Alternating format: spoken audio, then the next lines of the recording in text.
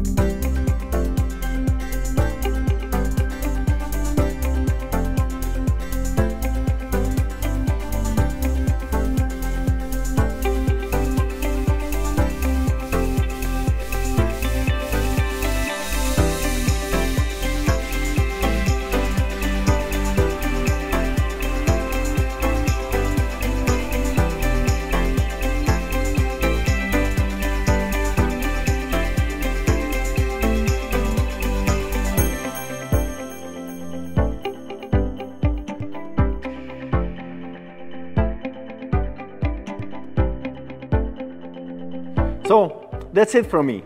Easy, no? And remember, periodical and proper maintenance using Bobcat genuine parts will extend the lifetime of your machine. Hope you learned something today. Leave a comment and check out my other maintenance videos. Thank you for watching.